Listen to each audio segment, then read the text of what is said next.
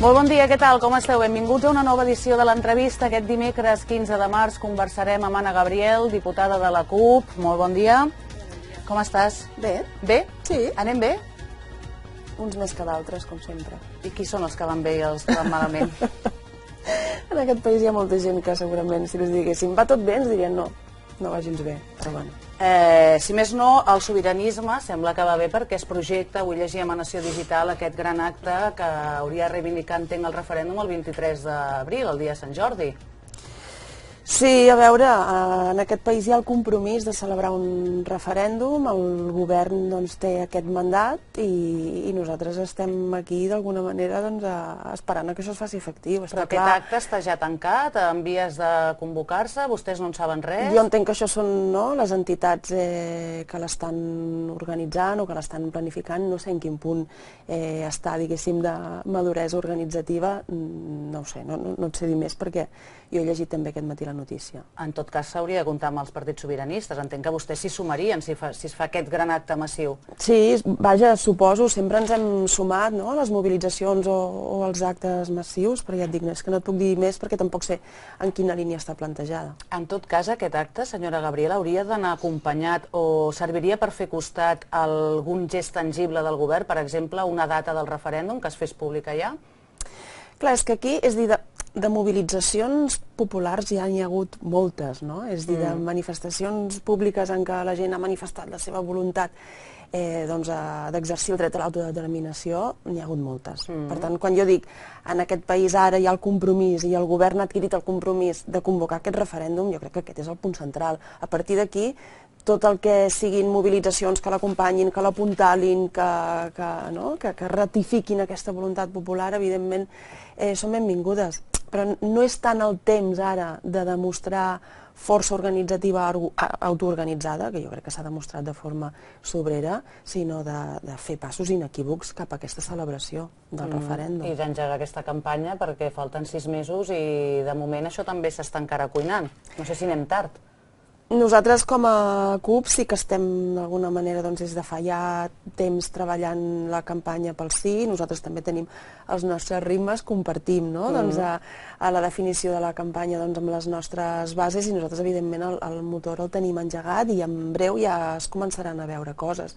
Però una cosa és eh, la campanya, diguéssim, pel sí que farà la CUP o altres formacions polítiques o la campanya pel no que puguin fer mm. altres formacions i una altra qüestió diferent és la campanya institucional Clar. que haurà de fer el govern de mm. dir uh, país, uh, us convoquem no, a un referèndum, us emplacem a participar-hi. Vaja, com qualsevol eh, contesa electoral en què hi ha una implicació activa mm. del govern per organitzar la logística de la contesa i que hi ha una, sovint una campanya no?, que anima a la participació, doncs entenem que hauria de ser el mateix. Mm, el debat ara, senyora Gabriel, és allargar aquesta fase d'intentar aconseguir una votació acordada amb Madrid o ja anar per la via unilateral. I li ho dic perquè després de la sentència del 9 de novembre, clar, ahir Neus Munté, la portaveu del govern, sí que deia no ens tremolaran les cames, farem el referèndum, però continuarem picant a la porta de Mariano Rajoy eh, per aconseguir la via pactada.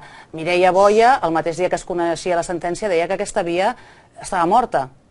En aquest sentit, som una mica on érem. És dir, és coneguda la posició de la CUP i de l'esquerra independentista en relació a les expectatives que ens obre un pacte acordat amb l'Estat, mm. que són zero no per nosaltres, sinó perquè l'Estat ha dit de forma reiterada sí. que no acordarà cap referèndum. Mm. A partir d'aquí mm, es va voler celebrar doncs, no, aquest, aquest pacte nacional pel referèndum i donar-li doncs, un, un, un trajecte, no? donar-li un caminar doncs, a aquest manifest que recull doncs, aquestes adhesions a nivell internacional, mm. que contribueix a generar o a establir pedagogia política també a l'estat espanyol nosaltres no ens hi vam negar, òbviament, perquè ja ens sembla bé que es faci pedagogia política i que es recollin adhesions, però nosaltres, per nosaltres ja no ens cal res més per exercir el dret a l'autodeterminació. És dir, ens sentim absolutament legitimats.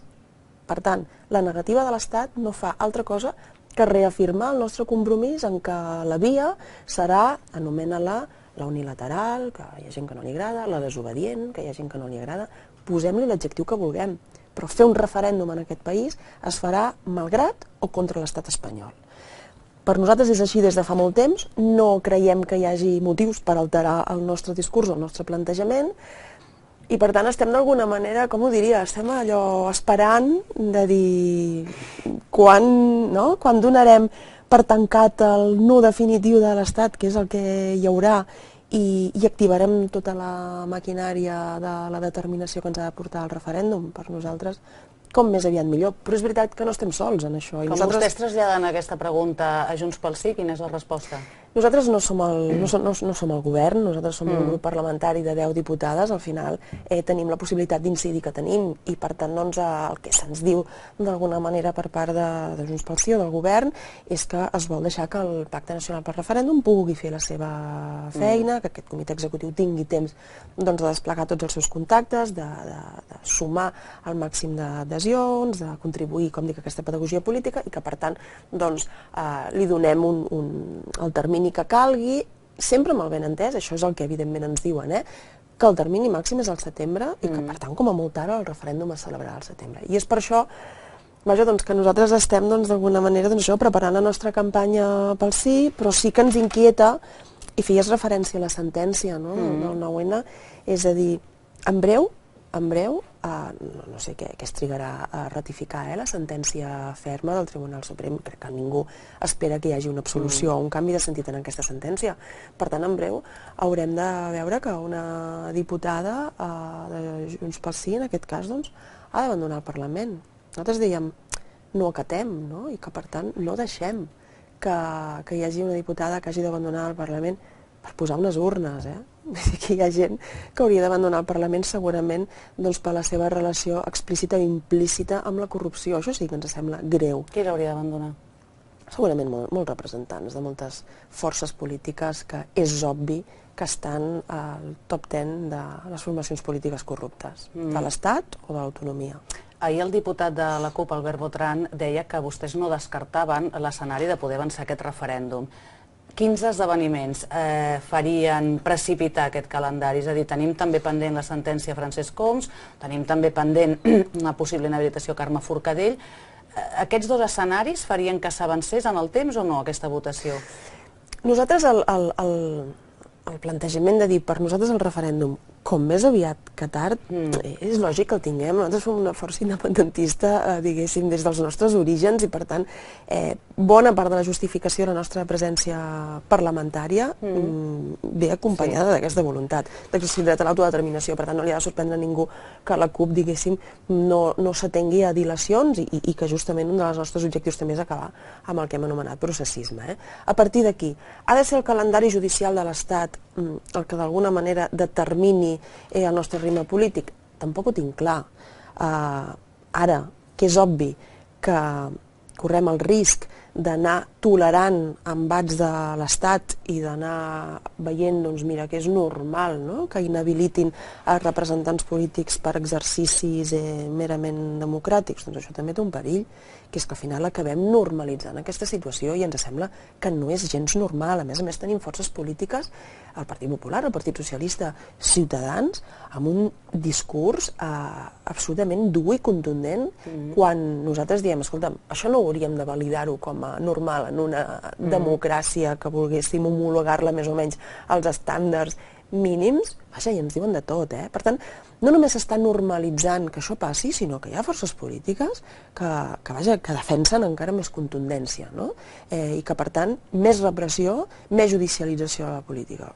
Doncs això és greu, això tensa, això no resol, això no dirimeix conflictes de forma democràtica i, i, i per tant, en aquest sentit, insisteixo, no és que l'aval per exercir el dret a l'autodeterminació ens el doni la sentència del Suprem en cap dels casos que s'hauran de jutjar, però sí que és veritat que les sentències no, que aboquen a inhabilitació o que aboquen doncs, a enfrontar-se a penes de presó, com el cas del Joan Coma, del nostre mm. regidor a Vic, mm, no ho hem de normalitzar i no ho hem de naturalitzar.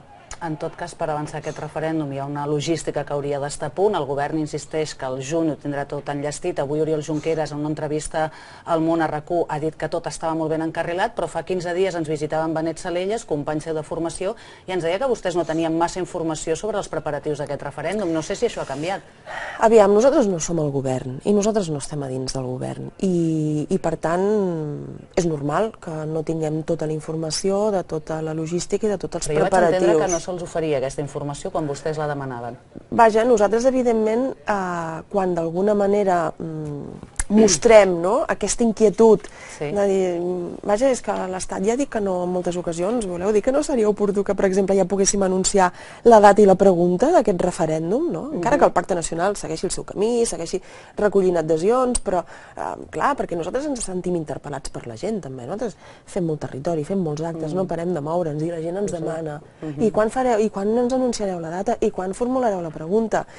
i nosaltres anem responent, és que nosaltres no som el govern, i aquí hi ha el mandat d'organitzar el referèndum entre el govern. Home, però vosaltres esteu aquí per fer-ho possible. Sí, i en aquest sentit és quan nosaltres interpel·lem també el govern i, i, i, i, en, i en les trobades que, que tenim doncs, eh, intentem d'alguna manera aconseguir també la informació perquè nosaltres som una gent que se'ns interpel·la en primera persona. Per tant, jo crec que estem en un moment en què el govern no s'ha fet enrere amb el seu compromís de convocar el referèndum, mm -hmm. el govern no s'ha fet enrere amb el seu compromís de tenir els preparatius com més aviat millor, unes dificultats òbvies, eh? que, que, que hi haurà uh, advertiments penals, jo crec que cadascun dels passos que es facin públics, i això s'ha d'anar veient com, com s'aborda. I, I insisteixo, i nosaltres amb la, no, amb el plantejament de que la data i la pregunta seria oportú que es plantegessin com més aviat millor, amb independència de que se li segueixi donant recorregut aquesta via pactada amb l'Estat. Mm, vostè ha fet referència abans a la corrupció, ha dit de fet que alguns diputats potser haurien d'abandonar el Parlament perquè està demostrat eh, que tenen certs lligams o podrien estar vinculats a la corrupció. Tenim informació o notícies sobre el cas Palau perquè finalment Artur Mas compareixerà al Parlament el 29 de març. Entenc que per explicar eh, aquest presumpte finançament irregular de Convergència Democràtica, però vostès van demanar que informés també doncs, de les activitats de la seva oficina com a expresident, uh mhm. -huh. del que havia explicat a l'exterior anterior, això també es farà? Són dues coses diferents. Sí, eh? Nosaltres la compareixença d'Artur Mas la vam sol·licitar i després ens vam afegir una, sí. una petició conjunta que es va fer. Eh? Nosaltres, en tot cas, ja, ja havíem gestionat aquesta petició. Ens sembla uh, que és absolutament oportú. La setmana passada emplaçàvem el president Puigdemont no? a ser exemplaritzant, li demanàvem, no? mm. en la lluita contra la corrupció. Hem implementat totes i cadascuna de les mesures que estan aprovades per una moció que va presentar la CUP fa 8 mesos, no s'ha desplegat cap mesura.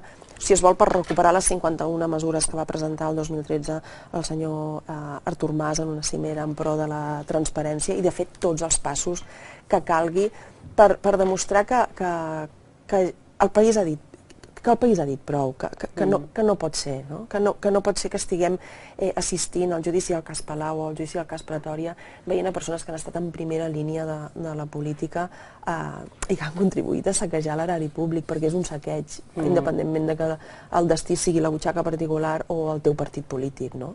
Eh, evidentment això requereix de moltes mesures, moltes de les quals com a autonomia no podem desplegar, perquè això faria falta, per exemple, que hi hagués molts més recursos a Fiscalia Anticorrupció, que hi hagués molts més recursos en l'àmbit de, de la hisenda pública, no? per mm. perseguir no, l'itinerari de determinats diners. I això com a autonomia, mm, evidentment, no, no tenim la possibilitat d'implementar-ho, però altres coses sí. També li diem al, al president no flirtegi vostè amb ningú, no deixeu que ningú flirtegi no? eh, si hi ha el mínim indici de que pot estar eh, implicat en, en àmbits de corrupció i, i trobar l'equilibri de la presumpció d'innocència, perquè sovint la presumpció d'innocència ha servit no, com a escut durant molt temps per, per no, per no mm. demanar cap gest a determinades persones fins que no hi hagi una sentència ferma, quan sabem que justament en aquests casos hi ha la possibilitat de dilatar molt el procés judicial, ho hem vist amb el cas Palau, 8 anys d'espera, no? Mm -hmm en fi, és un, és un tema que donaria per un programa monogràfic, eh, la qüestió de la corrupció, però que ens inquieta, ens inquieta molt que, que aquest govern no faci tot el que estigui a les seves mans i, i més, i en aquest sentit doncs, també enteníem que era oportú que el senyor Mas pogués compareixer en seu parlamentària. L'altra cosa és la pregunta concreta que vam sí. entrar sobre l'activitat de l'oficina de l'expresident. La llei de, de presidència eh, preveu que hi hagi un informe anual de l'oficina de l'expresident i per tant demanem el que la llei eh, preveu que estigui a les nostres mm. I també demanàvem informació concreta sobre la cobertura comunicativa que li dona l'actual govern amb un expresident de la Generalitat perquè volem veure eh, quina és la cadena no? de presa de decisions. Però no té res a veure eh, amb el judici del cas Palau. És forma part de les nostres funcions fiscalitzar o fer un seguiment de l'acció de govern, l'acció govern també és la seva política comunicativa i quan veiem que la política comunicativa li dona cobertura a un expresident que en part utilitza els seus viatges internacionals mm, per comentar qüestions relacionades amb la CUP que creiem que no és de rebut, perquè dir que si guanyés la CUP en aquest país doncs seria com Cuba, mm, no? Vull dir, vaja, ens sembla que no, que no és de rebut, que no és el que l'àmbit internacional està esperant que des de la més estricta democràcia, eh, diplomàcia internacional tots els respectes a, a un país com, com Cuba i no sé què aporta el fet d'anar pel món alertant de que si guanyés la CUP aquest país seria Cuba. Ara que parlava vostè de corrupció i sap que aquí toquem molt els temes de l'àmbit local, avui ha ple el Consell Comarcal del Barcelonès, on a més de parlar sobre la supressió d'aquest possible ENS, hi ha dues mocions que es presentaran, eh, hi ha unes irregularitats de fons que vostès han denunciat a la Fiscalia Anticorrupció amb uns informes de la Sindicatura de Comptes que detecten, deia, possibles irregularitats vinculades a aquest Consell Comarcal. Uh -huh. eh, no sé si ens ho pot explicar una mica cap a on creu o com creu que pot acabar tot plegat? El que, el que es demostra és que quan la CUP eh, entra a les institucions d'àmbit local o d'àmbit autonòmic és una de les nostres prioritats, no? Mm. aixecar catifes i, i que s'intenti doncs, d'alguna manera posar llum en aquestes pràctiques que, que s'han donat durant tant temps. I jo crec que totes les qüestions eh, relacionades amb el Consell Comarcal el que identifiquen és el que hem denunciat moltes vegades i ens quedem sols eh, al, al, al Parlament amb aquestes denúncies, dic per també per ser conscients de que mm. tothom s'apunta en la lluita contra la corrupció, però quan aterres i baixes a les qüestions concretes eh, de què hauríem de fer per evitar-la, aquí ja costa més eh, que hi hagi implicació de tothom. I on vaig? Vaig a tot l'entremat d'empreses de, eh, públiques, de societats mercantils, d'empreses públiques regides per dret privat, de tot, la, de tot el consorci públic o privat que acompanya o la gestió de polítiques públiques no? o determinades doncs, gestions d'equipaments. De, de, jo crec que el mapa que dibuixem d'eventuals irregularitats al Consell Comarcal té a veure amb això, no? amb aquest entramat d'empreses, fundacions, agències, entitats, eh, que subministren eh, serveis que l'administració eh, ha de donar i que en aquest entramat públic o privat hi tenim una porta d'entrada doncs això, als accessos d'obra injustificats, a, a la desviació de diners, als sous de responsables polítics absolutament estratosfèrics, com és el cas de TMB, per exemple, etc. No? Llavors, hi ha una pota aquí molt important en què jo crec que s'hauria de fer una revisió profunda de mm. quin és el model d'administració que volem tenir i, i cap on ens ha portat no? tota aquesta trama público-privada, que, que és el cas, diguéssim, que destapem a, a Reus, no? amb, amb Innova, en l'àmbit de la sanitat. I jo crec que aquí doncs, s'haurà de veure una mica si, si, quin, no? quina possibilitat de demostrar tenim doncs, que aquestes irregularitats han acabat amb il·lícits, perquè moltes vegades no hi ha possibilitat de demostrar que hi ha il·lícit mm -hmm. penal. Hi ha il·lícit moral, hi ha il·lícit ètic, hi ha una poca vergonya impressionant, però d'aquí a que quedi recollida la figura en el Codi Penal, doncs no sempre, no sempre és possible, no? perquè clar, el Codi Penal també fa l'aposta per recollir un tipus de delictes i d'altres no. Mm. I per tant, durant molt temps en aquest, en aquest país doncs, eh, hem decidit que finançar directament partits polítics no, perquè vam entendre que eh, però les seves fundacions sí. Eh, és a dir, eh, en l'àmbit de la corrupció s'ha de revisar la llei, la normativa, en l'àmbit penal, en l'àmbit tributari, de forma clara, els terminis de prescripció, per exemple, s'ha de posar molts més recursos en l'àmbit de la judicatura i en l'àmbit de la prevenció, que això vol dir doncs, molt més personal en, en, no, en, en entitats com, com per exemple Hisenda o, o l'oficina eh, antifrau, per exemple, molta més coordinació entre aquests ens, d'aquí que nosaltres plantegéssim el mecanisme eh, de lluita contra la corrupció en aquesta moció que vam presentar fa 8 mesos i el que plantejàvem era una taula permanent de coordinació. Aquí hi ha d'haver Mossos d'Esquadra, hi ha d'haver Fiscalia, hi ha d'haver l'Oficina Antifrau, hi ha d'haver la Sindicatura de Comptes, perquè també ens trobem que moltes vegades diferents ens estan analitzant els mateixos focus d'eventuals irregularitats i no hi ha coordinació.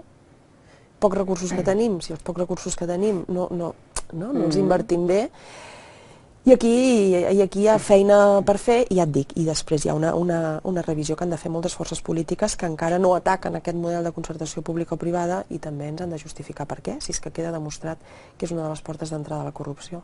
Tenim un altre tema que neix justament des de l'àmbit local i que aquest diumenge eh, es manifestarà al carrer, és aquesta municipalització dels serveis. Hi ha convocada una manifestació a Terrassa perquè l'alcalde del PSC, en Jordi Ballart, ha estat un dels impulsors o dels que més ha defensat aquesta municipalització municipalització, a més, ha patit amenaces, ens explicava uh -huh. aquí. Ahir feien roda de premsa i el que vaig deduir és que aquí el govern tampoc no s'hi acaba de mullar en aquesta qüestió. No sé si faltaria que el tema s'elevés al Parlament de Catalunya i que s'hi posessin tots els grups i fins i tot el govern. S'han de municipalitzar els serveis, és a dir, hi ha molts ajuntaments que s'hi estan posant ja. I tant, i tant. Per nosaltres, vaja, és una aposta absolutament estratègica des, de, des del municipalisme que també tenim en relació a l'aigua i tots els serveis públics. Ahir vam ser, evidentment, en aquesta roda de mm. premsa mm. eh, perquè serem a la manifestació el diumenge i, i a, a una pregunta que se'ns va fer sobre l'absència del govern, nosaltres vam dir que destacàvem diverses absències ahir en aquesta roda de premsa.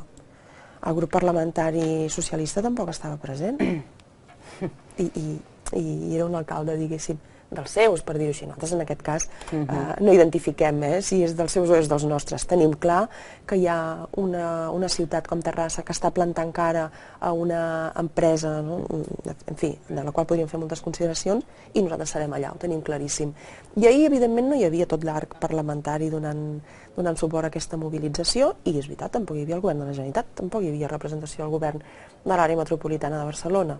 És a dir, que aquí d'implicacions eh, en relació a les apostes de recuperació del bé públic no hi ha les que hi hauria d'haver.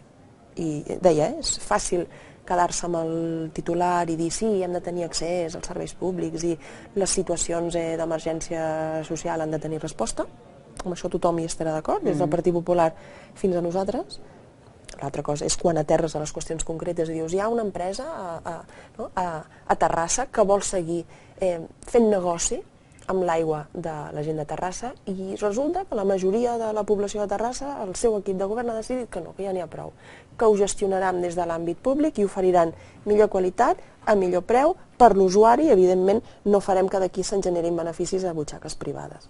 I resulta que no hi ha un suport massiu, que no hi ha tothom, no?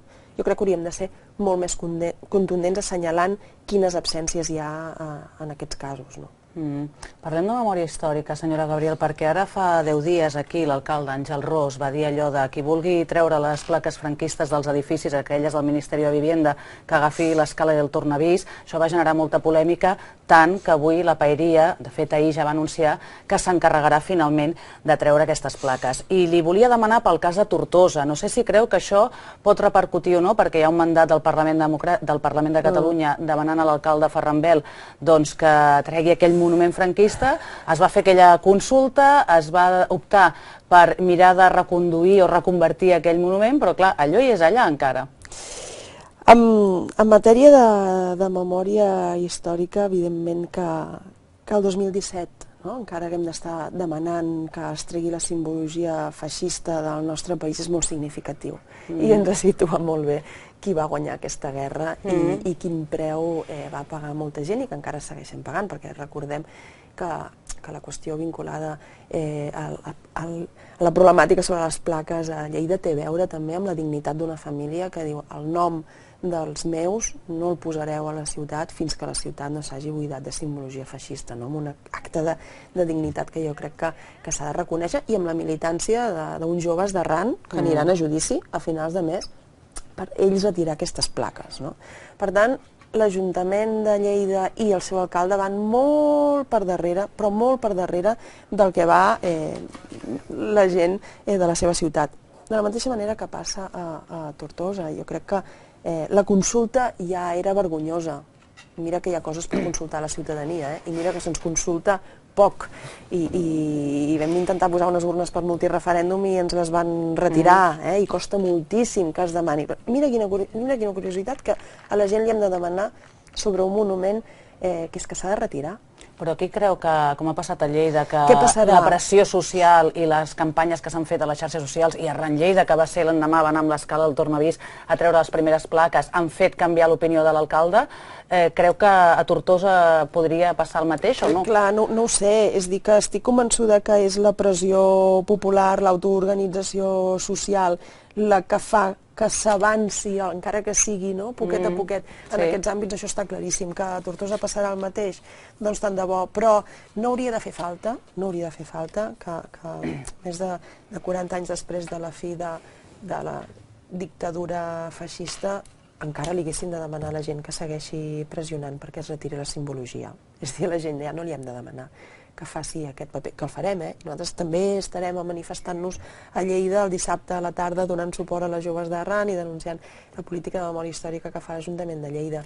Però hi ha qüestions en les que ja no li hauríem de demanar a la gent que se segueixi mobilitzant per qüestions eh, tan òbvies com és que es retiri el feixisme dels nostres carrers. M'han quedat moltes qüestions damunt la taula, senyora Gabriel. Una de les escoles concertades, ara que el Tribunal Superior de Justícia de Catalunya investigarà si la Generalitat va infringir la legalitat o no en moure, deia Inés Munté, no desviar aquests diners que havien d'anar destinats a les escoles Bressol cap a pagar el sou dels professors de les concertades. Si li sembla, ho reprenem a la segona part, perquè ara hem de fer una petita pausa.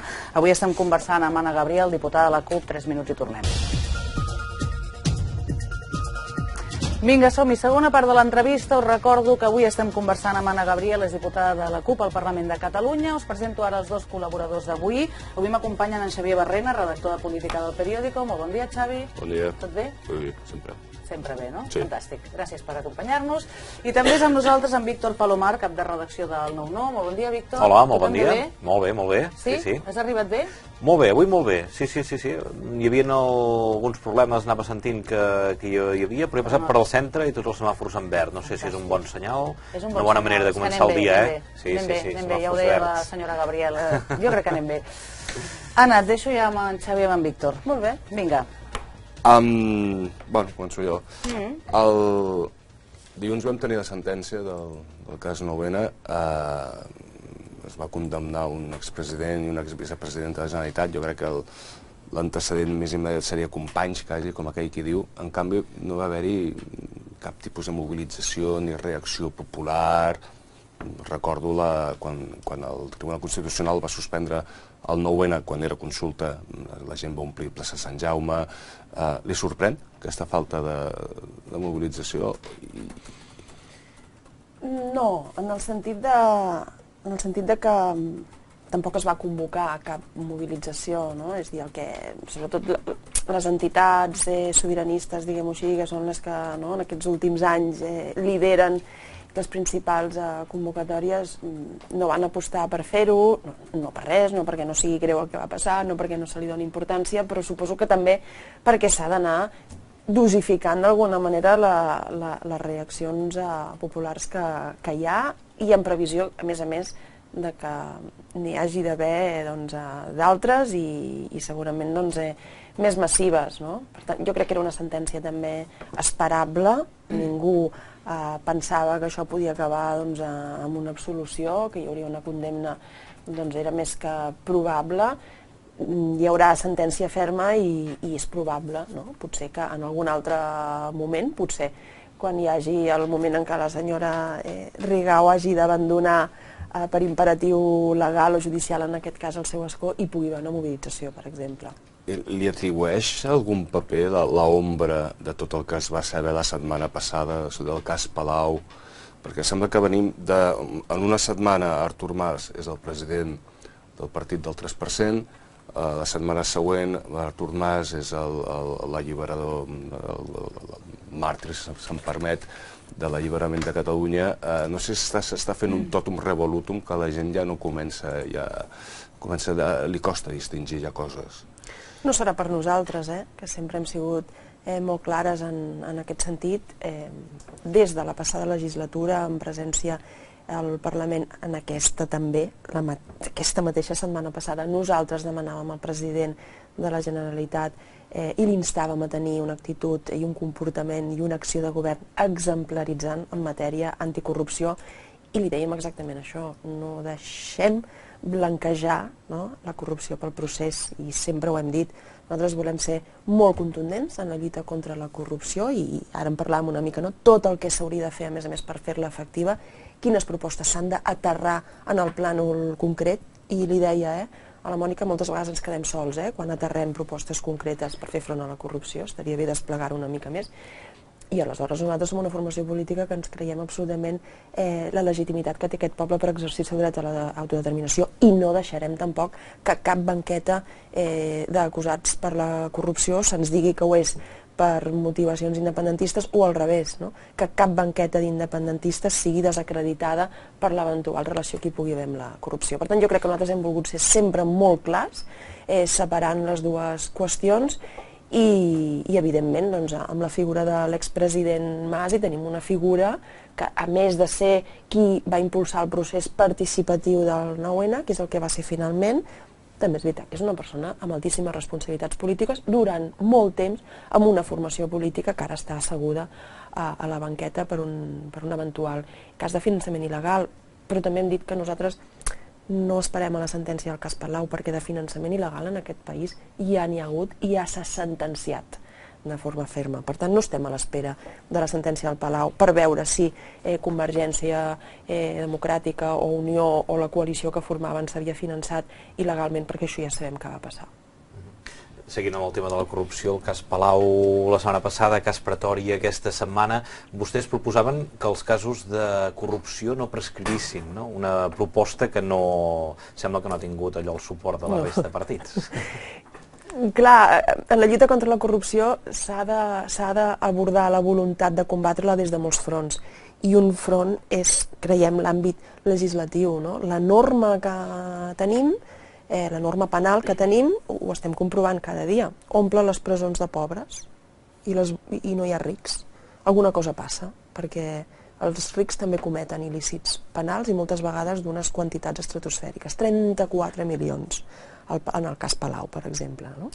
Eh, en aquest sentit hi ha d'haver una modificació legislativa, no tenim les competències per fer-ho. L'autonomia eh, de Catalunya no, no té potestat d'alguna manera de tenir un codi penal propi. Raó de més també algunes forces polítiques que diuen que volen combatre la corrupció, que ens expliquin com, com ho farem amb majories del PP i PSOE al Congrés espanyol. No? Vull dir que és una de les motivacions també recuperar sobirania per poder tenir una legislació pròpia que faci, per exemple, que els delictes de finançament il·legal o de blanqueig o d'evasió, d'al·lusió fiscal, no prescriguin.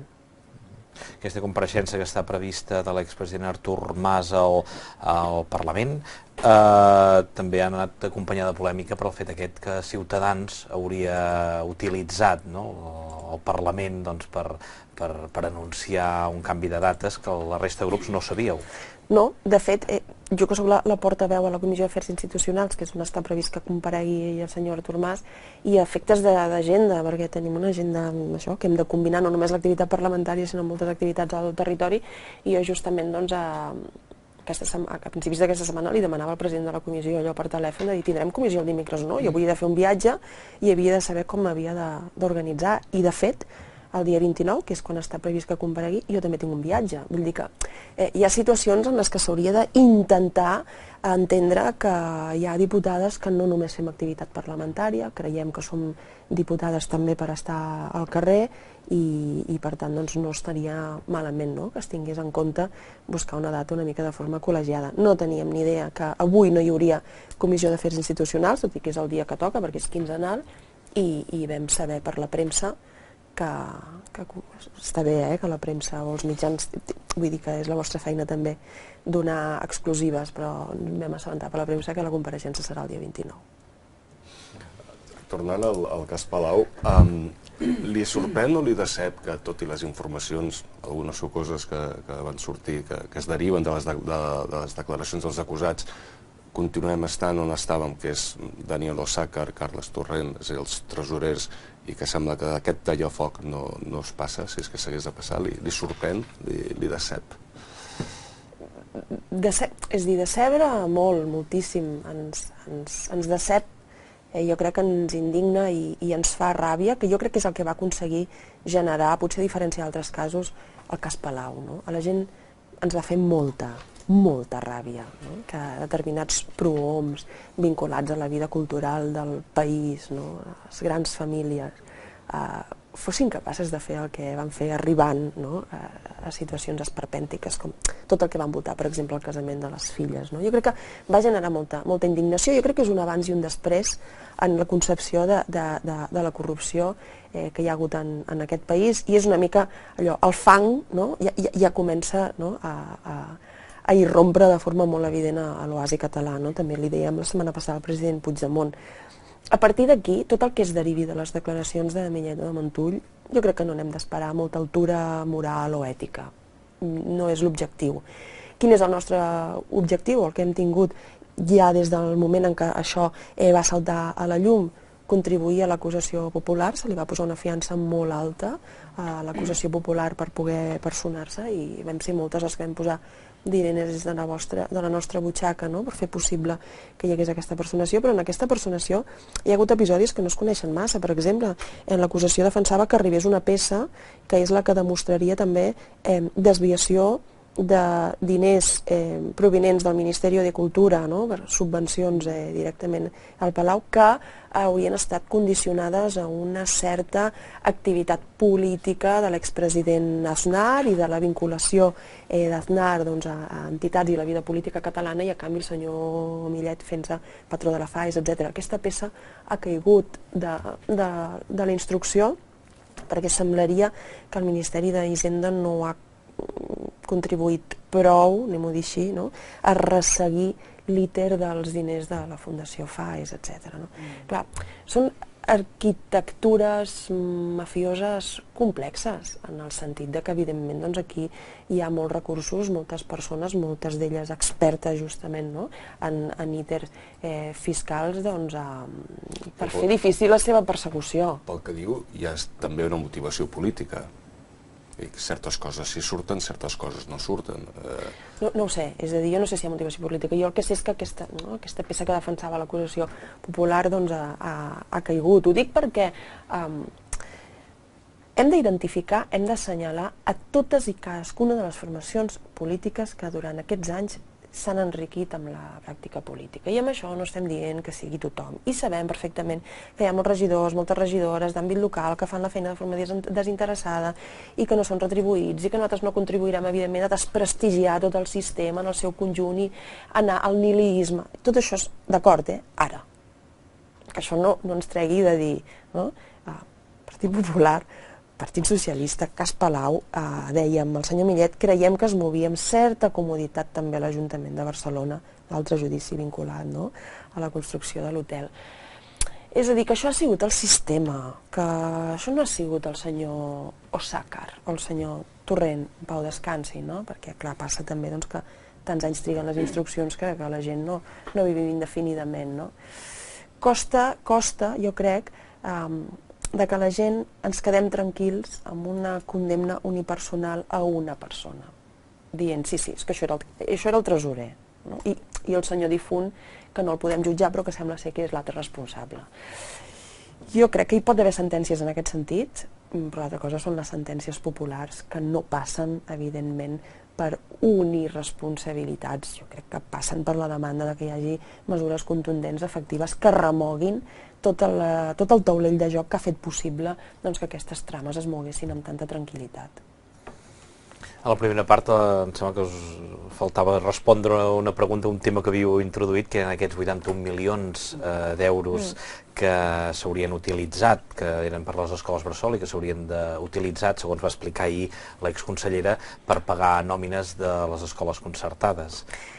Sí, nosaltres eh, hem demanat explicacions a la conselleria, hem donat eh, com a termini d'alguna manera doncs, el divendres d'aquesta setmana perquè ens facin arribar totes les explicacions que considerin. De moment hem tingut accés doncs, a aquesta nota de premsa que hi va fer el departament, que és una nota de premsa que en les explicacions es queda una mica curta, perquè el que diu és l'Estat no transfereix recursos, això sabem que ha passat en molts àmbits, tensió de tresoreria, no? per tant doncs, agafem una partida prevista per a les escoles bressols municipals per pagar les nòmines de professores de la concertada que pengen directament no? l'obligatorietat del departament. I ens ve a dir que hi havia un compromís de la Diputació no? de, de complementar doncs, a aquestes ajudes a l'àmbit municipal. I aquí es queda una mica l'explicació, és una nota que no, no té més de mitja pàgina, no? volem més explicacions. Eh? Volem d'alguna manera eh, que ens diguin doncs, eh, què va passar amb aquest compromís que hi havia de la Diputació, on està recollit aquest compromís, hi ha actes d'aquestes eh, reunions, va ser un compromís global entre passadissos, va ser efectivament un compromís subscrit també davant dels ajuntaments eh, implicats, no hi havia altres eh, partides per d'alguna manera eh, utilitzar eh, a fi efecte de satisfer el pagament d'aquestes nòmines de, la, de les concertades. És un capítol Uh, i, i veurem, perquè això està també no, al TCJ i, i, i veurem una mica què, què resol el contenciós administratiu. Eh? Però és un capítol que jo crec que ajuda a visualitzar o, o, o desajuda, eh? a, si, si, si atenem a la situació de la pública, de que hi ha pocs, hi ha pocs escrúpols a l'hora de retallar la pública. És que ho hem vist en els últims anys i de forma molt, molt, molt, molt clara, sobretot des del 2009-2010, hi ha molt pocs escrúpols. Però també és veritat que quan nosaltres plantegem que desconcertem l'educació i que per tant tinguem una única aposta estratègica de país que sigui l'educació pública i per tant no hi haurà problema de partides, eh? Tot anirà a la pública. Ens quedem sols. És que no hi ha cap altra formació parlamentària que defensi això. Doncs clar, vull dir, eh, no, perquè la concertada fa un paper en aquest país, no dubto, eh, també, no, hi ha molts mestres de la concertada que fan una excel·lent feina, hi ha escoles al Raval exemplars amb la política d'acollida de persones que són portades per entitats religioses, ho sabem. Això no va de crucificar ningú, això va de que com a país tu has de decidir quin model vols, i nosaltres hem decidit, un model públic, totes aquestes bones persones que fan bona feina, que s'integrin al, al servei públic i faran la mateixa feina o més des de l'escola pública. Cap altra formació política defensa això. Està per fent tant, crítica ara, amb Esquerra Republicana directament? I tant que soc crítica en aquest àmbit amb Esquerra Republicana, i quan parlem de la sanitat també. Ningú més vol treure la pota de, de l'empresa privada de l'àmbit de la sanitat. Ningú més vol acabar amb la concertació público-privada. Per tant, ara farem grans titulars, per part de les forces polítiques, eh, al voltant d'aquests 81 milions. I nosaltres, evidentment, insisteixo, més enllà del titular, estem demanant explicacions i veurem què fem si no ens satisfan. De moment no ens satisfan, però hem donat fins divendres. No? Però anem més enllà, perquè jo crec que la nostra responsabilitat no és anar-nos apuntant al festival eh, de titulars. Anem més enllà, anem a veure quin model d'educació volem per aquest país. Perfecte. Tothom està d'acord en seguir concertant. Estem soles en la desconcertació. Estem més o menys a sis mesos del presumpte o del, del possible referèndum eh, comparat amb el, amb el que es va fer a Escòcia el 2014, campanyes, informació de la ciutadà, etc etc etc. estem molt lluny. Uh, però és que encara no sé, jo almenys personalment, com es farà participar a la gent del no, diguéssim. Com, com se'ls farà sentir-se seu una cosa que diuen que no és seva i que de moment se'n se mantenen al marge i estem a sis mesos, amb un estiu pel mig. La gent del no, per dir-ho així, que també hi ha molts nos, eh? No, no, no, el no no és sí, un bloc també hi ha molts sis. Homogeni, correcte, ah. i tant, i tant, i tant. El, el nostre és molt diferent d'altres que hi ha. Sí, sí, però com que parlem del no, no és un bloc, tampoc, allò homogeni. En quin sentit ho dic? En què eh, molts dels nos ho tenen molt fàcil eh, boicotejant, no? Eh, vull dir, no estan esperant a cap campanya, no estan esperant a que se'ls convenci, no estan esperant a que, a que s'obri d'alguna manera la campanya institucional de convidar a la participació, no esperen res. Esperen que aquest referèndum no es faci, que l'Estat actui, que segueixi la recentralització de l'Estat espanyol eh, i que madura contra l'independentisme. Clar, amb aquesta gent, vull dir, jo crec que no cal ni que tinguem expectatives de que, de que fem res per tal de fer-los moure d'aquesta posició. És dir, el Partit Popular o Ciutadans estan tenint un, un discurs, i sovint també el Partit Socialista, que dius, cap campanya per la democràcia tu et convencerà de que l'estat espanyol és indivisible, punt i final. Ara, hi ha altres persones que, que no són aquest tancament i aquesta, no, i aquesta defensa de l'estat espanyol tal i com està concebut, que són les que d'alguna manera nosaltres hem de ser capaces amb la nostra campanya del sí, que hi veguin si volen el seu revers per dotar-se d'elements o d'arguments pel no i evidentment hi ha d'haver, un, una campanya institucional del govern que convida a la participació, això evidentment si no hi ha data i pregunta és difícil que la puguem desplegar, per això doncs estaria bé que anéssim avançant en aquest sentit. Una campanya eh, eh, pel sí que serà, tindrà lloc en un espai on també ha de poder tenir campanya, lloc la campanya del no. És a dir, aquesta campanya institucional per la participació el que ha de dir és gent, partits, entitats, teniu lloc, teniu espais públics, no? teniu eh, espai en els mitjans de comunicació per fer aquesta campanya. No? I, i, per tant això s'ha de desenvolupar com, com en qualsevol altra contesa electoral. I un tercer element que també és important, eh, hi ha d'haver la, la, la determinació i el posicionament inequívoc del, del govern de dir farem efectius els resultats. És a dir, serà vinculant per què? Perquè farem efectius els resultats i perquè si surt un no tindrem en compte doncs, que aquest país no vol canviar la seva eh, relació amb l'estat espanyol i si surt un sí doncs tindrem en compte que aquest país vol eh, separar-se, diguéssim, de, de l'Estat, vol tenir un altre tipus de relació amb l'Estat, i per tant doncs, eh, actuarem absolutament en conseqüència. I la determinació en fer els efectes vinculants per part del govern jo crec que és, és un element que pot fer doncs, que una persona que, per exemple, vol seguir sent no, ciutadà de l'estat espanyol digui, escolta'm, doncs, si és veritat que, no, que aquest govern farà efectius els resultats, jo vaig a votar que no, perquè jo no vull una Catalunya independent. No? Per tant, jo crec que, que és aquesta determinació, aquest convenciment, que és el que hi havia a Escòcia, és dir, com que a Escòcia tothom sabia que els resultats serien vinculats, perquè hi havia el compromís d'un govern, clar, la gent es va expressar, com qualsevol altre referèndum no? que, que hi pugui haver, i per tant aquí doncs, hi ha exactament el mateix. I treure'ns la il·lusió de que malgrat això no, eh, hi ha forces polítiques i hi ha una part d'aquest país que, que farà boicot actiu i que treballarà perquè les inhabilitades no siguin tres, sinó potser esperen que siguin, siguem 72 directament. I la campanya del sí ha de ser unitària?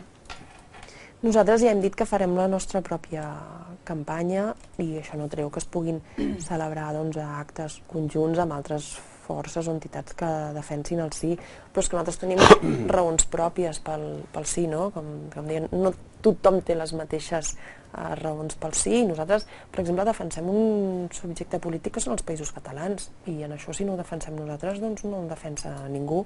Nosaltres, evidentment, volem ser eh, molt taxatius en dir aquest referèndum, eh, si aboca un sí en els seus resultats, ha d'obrir un procés constituent. Eh? Això no va, no, no va només de demanar a la gent en relació la seva relació amb l'Estat. Eh, això va de poder redissenyar el taulell i les regles del joc de la democràcia que regirà aquesta república i nosaltres volem que, la, no? que no torni a passar com va passar el 78 i que amb, amb la gestació d'una Constitució, amb una taula d'uns quants experts, després donem cobertura no, a determinades polítiques que la gent mai va triar. No? I per tant, jo crec que en aquest país la gent ha de poder triar sobre la seva relació amb l'estat espanyol i ha de poder triar sobre molts altres àmbits. Per tant, el compromís en relació al, al procés constituent per nosaltres serà una pota importantíssima. No ho sé si ho serà per, per tothom que demana el sí, per exemple. No?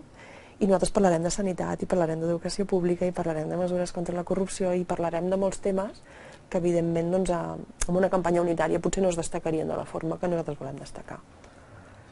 En tot el procés cap al referèndum, el, el paper dels Mossos és l'interrogant més gran que hi ha.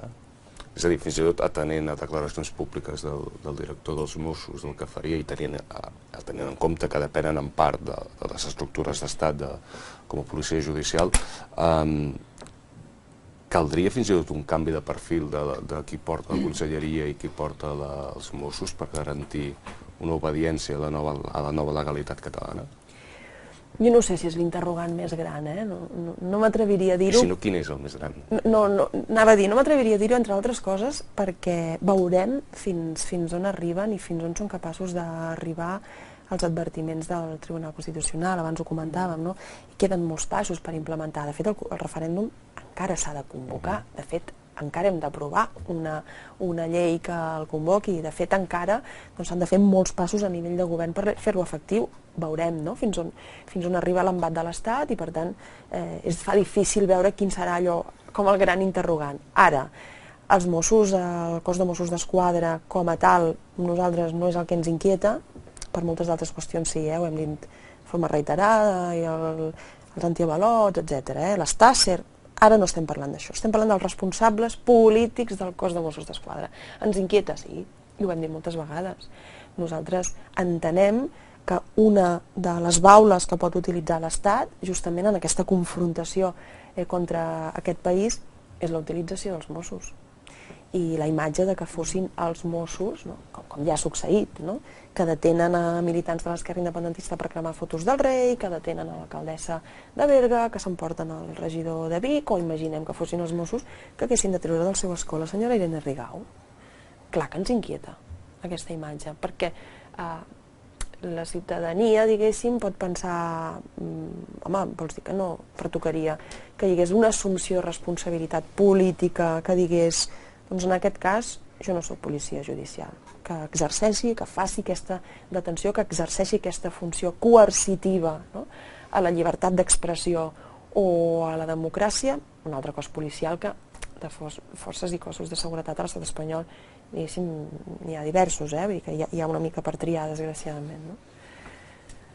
I seguim en, seguim en aquesta línia, és a dir, no, no, no ha canviat res perquè, perquè tampoc no, no han canviat els responsables de la Conselleria d'Interior, i, i esperem doncs, que en el, no, en el moment en el que calgui doncs, a fer una acció en la que o estàs del costat de l'exercici del dret a l'autodeterminació o estàs del costat de la força coercitiva de l'Estat, també el cos de Mossos d'Esquadra tingui uns responsables polítics que identifiqui que s'ha d'estar al costat de, de la democràcia.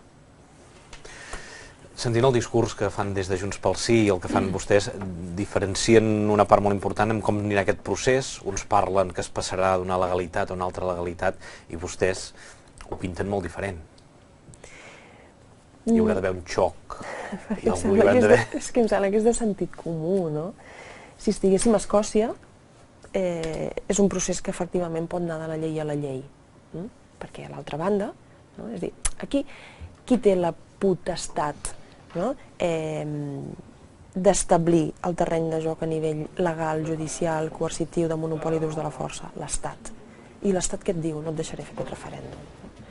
Davant d'això és molt difícil pensar que tu faràs el referèndum i que si guanya el sí eh, faràs una proclamació de la independència i pacíficament, des del punt de vista jurídic, eh, eh, doncs aniràs promulgant les teves lleis, l'Estat anirà desactivant l'aplicació de les seves, hi haurà una transferència d'actius i passius en una taula de negociació i en el decurs de X temps, no sé, X mesos, un any, dos, doncs s'haurà tancat no? tota aquesta transferència, s'haurà retirat l'exèrcit, les forces de seguretat, hi haurà hagut un traspàs de funcionaris... Algú pensa que això és possible amb l'estat espanyol? Amb l'actual composició, com a mínim, de l'executiu i de l'arc parlamentari és molt difícil d'imaginar, no? Anna Gabriel, ho hem de deixar aquí. Deixem la pregunta en l'aire. Hem Va. esgotat ja la nostra hora.